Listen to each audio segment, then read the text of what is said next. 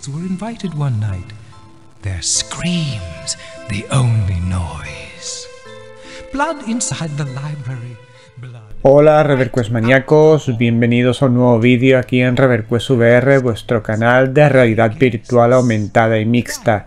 Y en el día de hoy vamos con un análisis muy especial para mí porque vamos a tratar un juego eh, que para mí eh, pues me trae mucha nostalgia, me trae muchos buenos recuerdos y además fue un juego que en su momento pues eh, fue muy importante para el mundo de los videojuegos y especialmente para, para lo que es el PC, los ordenadores.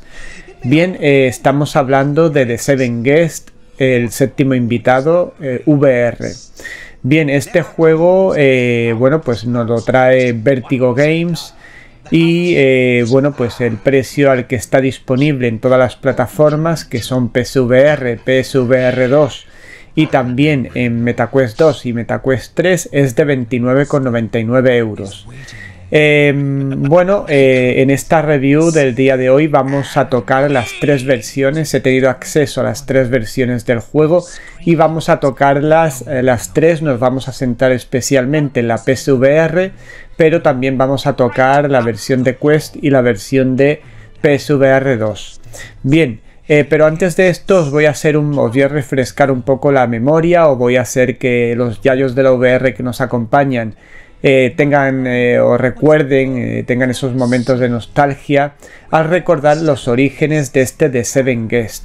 The Seven Guest es un juego que salió en el año 1993 por parte de Virgin Interactive y era un juego que fue revolucionario en su momento puesto que, eh, pues entre otras muchas cosas, traía un juego con 12 de ROM, que ahora mismo pues nos puede parecer una tontería, pero en aquel entonces, en los años 90, era toda una revolución.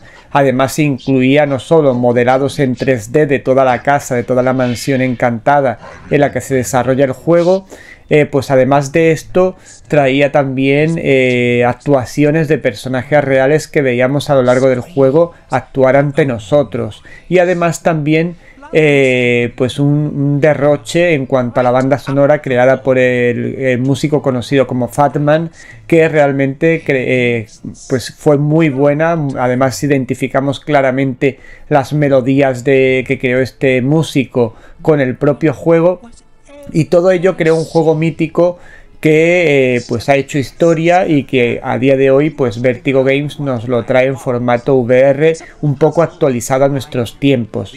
Bien, eh, posteriormente salió una secuela de este juego que es la onceava hora que traía cuatro CD-ROMs y que seguía un poco la estela de este de Seven Guests o el séptimo invitado. El juego eh, básicamente es un juego de terror, un juego de puzzles, era de los primeros juegos de puzzles que ahora son tan frecuentes, Escape Room y demás, que hubo allá, allá por el año 93 y la verdad que todo estaba muy bien encausado y además tenía una narrativa el juego bastante potente, por tanto hacía que todo fuera una experiencia maravillosa. Yo recuerdo especialmente cuando este juego se empezó a anunciar en los años 90, que yo tendría, pues no sé, ahora mismo no me acuerdo, pero tendría 15 años o algo así. Y eh, pues se hizo una en Granada, un evento en el cual iban a poner una demo del juego y demás que ni siquiera se podía jugar, pero lo podías ver en pantalla. Y allí que me fui yo con mi padre y un amigo, un buen amigo, a Granada para ver eh, ese juego que tanto me estaba llamando la atención porque a mí el terror me gusta mucho, las casas encantadas me gustan aún más y el planteamiento del juego era ideal para mí. Recuerdo cómo alucinábamos viendo esas imágenes en aquella época, vuelvo a repetir, en que no era habitual ver juegos con imágenes reales, con modelados en 3D al completo, etcétera, etcétera, y flipamos, como se suele decir, viendo eso y ese recuerdo ha quedado en mí para siempre y además pues es un juego que yo puedo decir que en mi trayectoria como jugador de videojuegos pues me marca especialmente. Bien, en el año 2019 salió una versión 25 eh, aniversario mejorada, remasterizada y demás de este de Seven Guest que está disponible también en Steam por unos 9 euros. El original también está disponible en Steam por si tenéis curiosidad por jugarlo, aunque lógicamente ya está un poco desfasado. Eh, también a un precio muy barato. Y eh, pues nos vamos a centrar después de esta pequeña introducción en lo que son eh, las versiones de los juegos actuales de 7 Guest eh, VR que nos ha traído Vertigo Games. Lo primero que hay que comentar sobre estos juegos y, y a partir de ahora nos centramos de momento en la versión de PSVR ¿Por qué nos centramos en la versión de PSVR? Pues porque entre otras cosas es la mejor versión disponible hasta el momento de este juego, con bastante diferencia especialmente en el ámbito visual y sonoro. Eh, bueno, el juego sigue teniendo en esta versión eh, nueva de, de 7 VR una narrativa potente. Eh, una de las cosas buenas que tiene este, esta versión que se ha creado para la VR es que mantiene, bajo mi punto de vista, toda la esencia, y esto es muy importante, del clásico, toda la esencia en cuanto a narrativa, en cuanto a puesta en escena, en cuanto a cómo se desarrolla el juego, en cuanto al respeto a los puzzles, a, toda, a todo el lore, digamos así, de, este juego que, creó, como, como, he dicho al principio, historia dentro de, del mundo de los videojuegos. Y por tanto, esto ya es un punto muy positivo del juego en términos generales, no solo para que eh, aquellos que lo recordamos de antaño eh, tengamos una experiencia extraordinaria al ver que el juego prácticamente eh, se desarrolla de la misma manera en el sentido de que respeta toda la esencia del juego original, incluyendo la banda sonora, que escucharemos melodías que el creador de la banda sonora ha ido insertando de la famosa música eh, o banda sonora que tenía el juego por, creada por ese, por ese músico Fatman, pues la verdad que te llena constantemente el juego de nostalgia. Además visitamos habitaciones que ya hemos visitado en otro momento. Es como un... Una, eh, para, el que ya ha jugado este juego en su versión clásica es como revisitar esa casa pero de una forma inmersiva y de una forma eh, muy chula y muy novedosa. Eh, en cuanto a la narrativa, aparte de que se desarrolla de una forma muy chula, ya lo veréis cuando avancéis en el juego, eh, bueno, pues todo comienza con que un juguetero, Henry Stauff, nos invita a su casa, invita a una serie de personas. Eh, y bueno, pues en la casa parece ser que ha sucedido algo extraño, algo horripilante y nosotros llegamos a esa casa para investigar un poco qué es lo que ha sucedido eh, con esos personajes que, aparecen en la casa, que han estado allí conviviendo y por qué Henry Stauff los invitó en aquel momento. Bien, em, bueno, pues eh, a, partir de aquí ya tenemos que ir nosotros eh, en la faceta de la exploración de la casa, iremos visitando distintas habitaciones que se irán desbloqueando conforme resolvamos puzzles, porque en el fondo el juego, además de tener una potente narrativa, es un juego de puzzles, un juego con unos puzzles muy ingeniosos, unos puzzles algunos más complicados, otros menos, pero que sigue respetando esa línea de, puzzles ingeniosos y, y, que nos van a hacer pensar un poco eh, del original. También tenemos una forma con unas monedas que nos vamos encontrando por el juego, por los distintos escenarios. Podemos desbloquear ayudas si nos quedamos atascados en algún puzzle en concreto. Bien, haciendo uso de esas, de esas monedas que podemos ir recogiendo en las habitaciones y demás. Em, después, eh, pues eso, el juego ya digo es un juego de exploración, un juego de puzzles y un juego de sensaciones sensaciones eh, de todo tipo que vamos a tener, eh, nostálgicas por lo que ya hemos comentado anteriormente, de terror porque habrá momentos terroríficos, incluso de imágenes un poco subidas de tono que también eran muy propias del juego original. Bien, como he dicho al principio, ya mm, pasando de, de, de bloque, digamos así, en lo que es la descripción del juego en cuanto a lo que nos vamos a encontrar, eh, vamos a los aspectos técnicos del juego.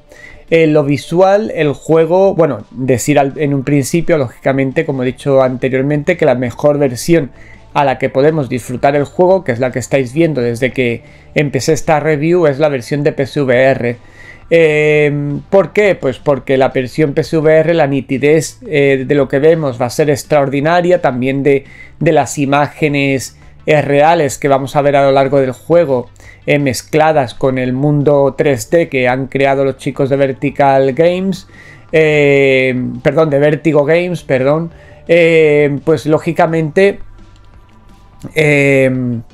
pues todo funciona muy bien en la versión de PSVR, llegando a su culmen visual y sonoro en todos los sentidos. E incluso también cuando interactuamos, porque vamos a tener una especie de linterna que, nos permite, digamos así, saltar el, vacío, digamos, que hay entre el pasado y el presente, ¿no? Con esa linterna donde iluminemos, vamos a ver cómo era ese escenario, cómo era esa habitación, cómo eran esos adornos en el pasado. Es como si al pasar la linterna todo volviera a la vida de alguna forma, ¿no? Y esta linterna va a ser clave para resolver muchos puzzles que nos vamos a encontrar a lo largo del juego. Pero continuando con lo técnico, pues ya digo, visualmente el juego en PSVR es bastante espectacular, eh, se ve todo nítido, nítido, se ve, va todo muy fluido. Es verdad que he notado en algún momento, pero muy levemente, alguna, algún problema de estabilidad en la imagen, pero que yo creo que con alguna actualización se, solventará, pero es muy poco y en general va muy muy bien el juego, va muy fluido. Ya digo, visualmente es espectacular, la sensación de estar en, esa casa de Henry Stauff eh, de forma inmersiva y con esa calidad visual es bastante impresionante y especialmente, ya vuelvo a repetir, para los nostálgicos como yo que ya hemos visitado esa casa anteriormente en otros formatos. Por tanto es una gran experiencia, el juego ya digo va súper fluido eh, en todos los aspectos. Bien, visualmente también además hay que destacar lo rico que es eh, especialmente la versión de PSVR en cuanto a las texturas que podemos usar, que por cierto las podemos graduar en las opciones del juego. También destacar, por cierto, que no se me olvide que el juego tiene subtítulos en castellano y que además están hechos de una manera, se han implementado de una manera que son totalmente fáciles de leer y de, y de interactuar con ellos. Por tanto, un buen punto para Vertigo Games. Por otro lado, em, el juego en cuanto a, ya digo, riqueza de detalles, etcétera, es extraordinariamente, rico. Y en lo que se refiere a las mecánicas VR, vamos a tener una gran interacción, que esto se agradece mucho, con todos los objetos de la casa y con todos. Em, con todas las cuestiones que están eh, pues repartidas por la casa, objetos, cajones, Em, escaleras, con todo. Vamos a poder interactuar prácticamente con todo y esto es muy bueno porque nos da a la hora de disfrutar del juego mucha libertad de acción. Si queremos abrir un mueble lo podemos abrir, si queremos abrir un cajón lo podemos abrir independientemente de que el cajón contenga algo importante o no lo contenga. Hasta donde yo he llegado la interacción es realmente de alabar, nos va a permitir sentirnos eh, mucho más integrados dentro de lo que es la acción precisamente por esa capacidad de interacción que vamos a tener con cualquier cosa que, queramos y que veamos eh, en la casa, incluso objetos que están sobre la mesa. Y independientemente de que esos objetos tengan una función dentro del juego o simplemente sean de adorno, pero vamos a poder usarlos, cogerlos y manipularlos. Esto es un gran punto. Además, hay que decir que nuestras manos van a ser una especie de, haciendo un homenaje también al juego original, como una especie de manos eh, cadavéricas y eh, con ellas eh, los agarres que, han, eh, que se han desarrollado por parte de la compañía que han creado el juego, etcétera, etcétera, pues están muy bien hechos. No se nota que cuando cogemos algo atravesemos el objeto ni nada por el estilo. Está todo correctamente hecho. Cuando vamos a abrir una estantería, cuando vamos a abrir un cajón, todo está medido y hecho perfectamente. También cuando vamos a manipular un puzzle del tipo que sea, todo está muy bien y la interacción se hace muy, muy, muy realista. Eh, lógicamente, como este estamos hablando que es un juego de exploración, es un juego de puzzles, no es un juego de acción que tengamos que disparar ni nada por el estilo, pues las interacciones, las mecánicas VR se limitan a esto, a, a interactuar con objetos, con puzzles, etc. Pero sí está hecho de una manera genial. También al principio del juego, cuando tenemos un remo que vamos a coger, también tenemos ahí una interacción. Pero es una interacción más breve. La mayoría va a ser como estoy comentando, de interactuar con los escenarios y demás para ir resolviendo los puzzles, etc. Eh, bueno, eh, por otro lado también hay que destacar que el juego tiene colisiones, algo muy de destacar también para que nos sintamos inmersos en la acción. Vamos a tener eh, colisiones con todo prácticamente, con cualquier objeto que tengamos a nuestro alrededor, con las paredes, con las mesas. Por tanto, realismo máximo, inmersión máxima en la mansión de Henry Stauff. Eh, bueno, eh, aparte de todo esto que ya he mencionado, eh, pues lógicamente si a esto le añadimos una banda sonora extraordinaria, mi enhorabuena a su creador, porque ha, conseguido darle una, nueva visión a esa banda sonora original de Fatman, pero además hacer un homenaje constante a, mm, con, incluso con coros y demás, eh, a, lo, a, lo, que es la banda sonora original.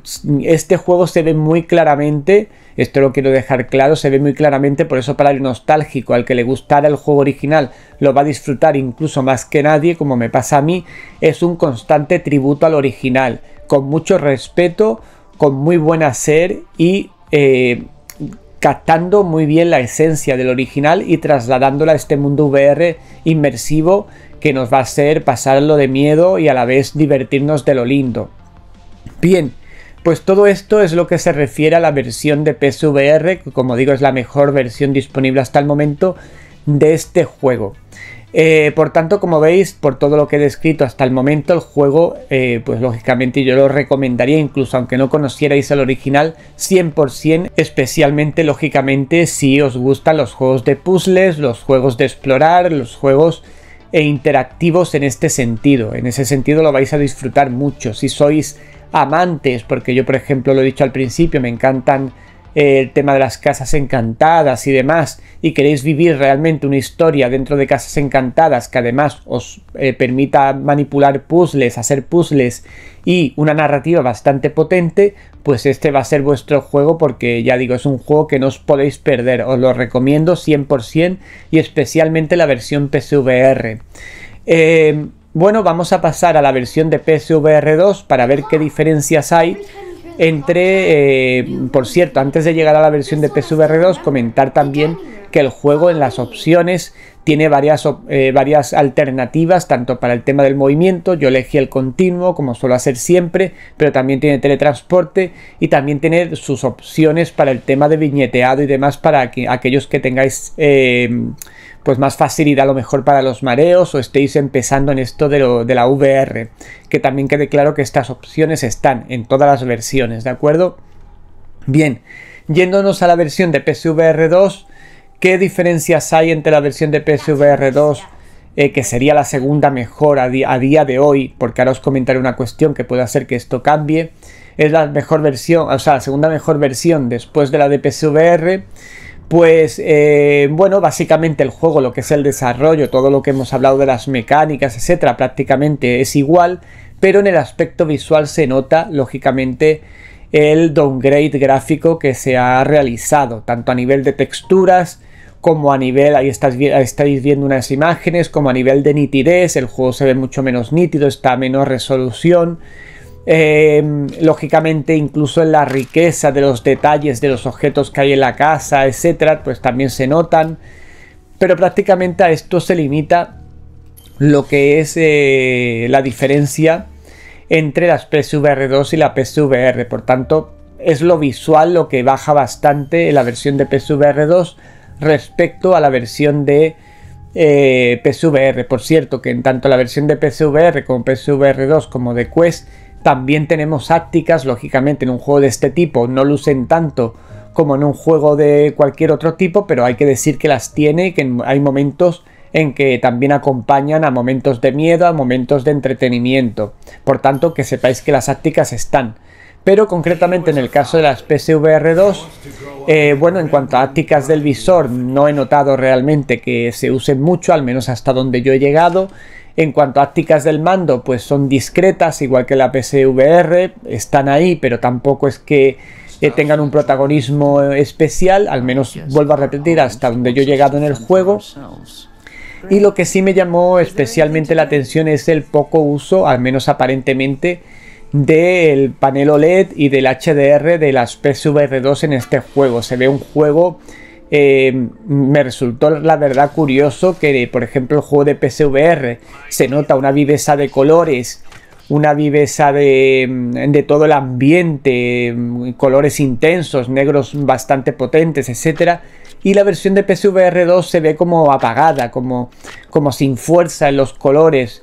Em, cuando teniendo un panel OLED y un formato HDR, pues esto pienso que se podría haber aprovechado mucho mejor para em, proporcionar una experiencia a los usuarios de PSVR 2 diferenciadora en este aspecto con otros visores. Sin embargo, la de PSVR en este sentido, siendo PSVR que no tenemos un visor, porque yo por ejemplo esta review la he hecho mediante unas MetaQuest 3 eh, usando el códec AV1 y la verdad que me ha sorprendido muy gratamente que la versión de PSVR concretamente sea la que tiene mejor colorimetría, mejores negros, etcétera, teniendo la de PSVR 2 un panel OLED y teniendo la de PSVR 2 un formato HDR que no tiene las Quest 3, por ejemplo, aunque sí tiene mejoras a nivel de colorimetría y demás, pero no tiene ese formato panel OLED.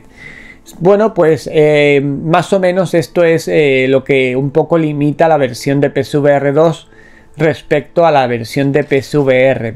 Porque los demás aspectos, pues como digo, en mecánicas, en otros aspectos, banda sonora, etcétera, pues son muy semejantes. Y pasamos ya para ir finalizando a la versión de MetaQuest, eh, MetaQuest 2 concretamente, porque la versión que hay disponible a día de hoy desde 7Guest VR para visores Quest es básicamente la versión de Quest 2. Y en esta versión de Quest 2, pues el downgrade gráfico que se ha hecho eh, respecto a la versión de PSVR es ya más que notable, incluso más que en el hecho de, de la que hemos comentado de PSVR 2. Eh, hay que decir que lógicamente el hecho de que un juego de este tipo ya pueda funcionar en unas MetaQuest 2 ya es todo un lujo, esto hay que decirlo, porque no es un juego que unas MetaQuest 2 nos pudiéramos imaginar que lo pudiera manejar.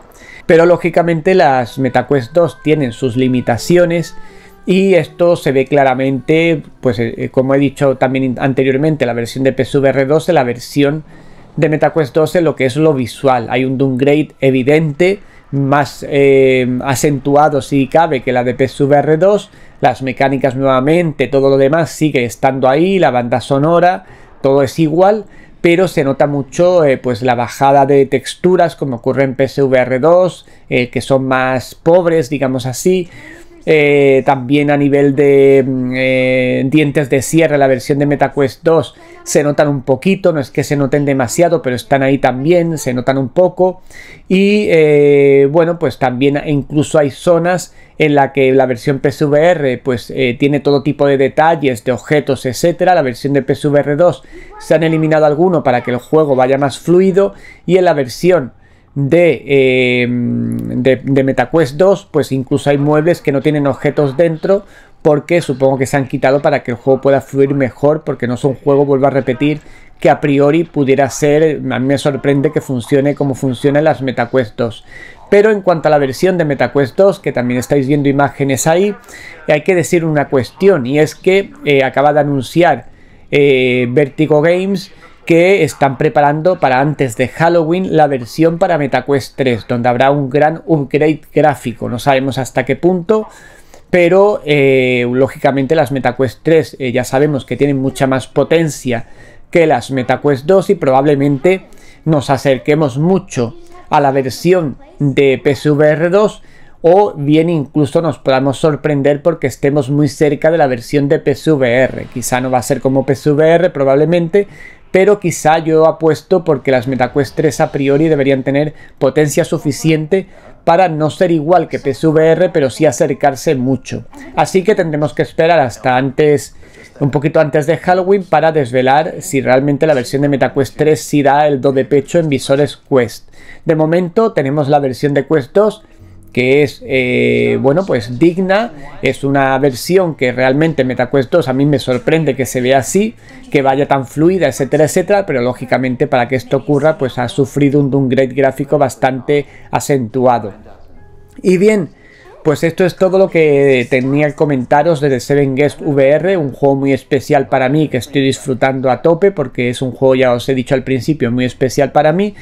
Eh, haremos una pequeña review em, Y cuando salga la versión de MetaQuest 3, eh, como he comentado, haremos una pequeña review complementaria a esta con las mejoras que hayan podido implementar en esa versión de MetaQuest 3, pero aquí ya tenéis una buena review de todas las versiones disponibles hasta el momento.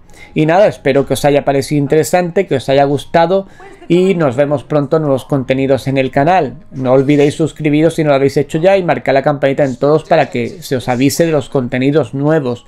Por otro lado, darle a me gusta si os ha parecido interesante esta review comparativa de las tres versiones disponibles y para que otros usuarios puedan descubrir este maravilloso juego que tenemos entre manos para la VR.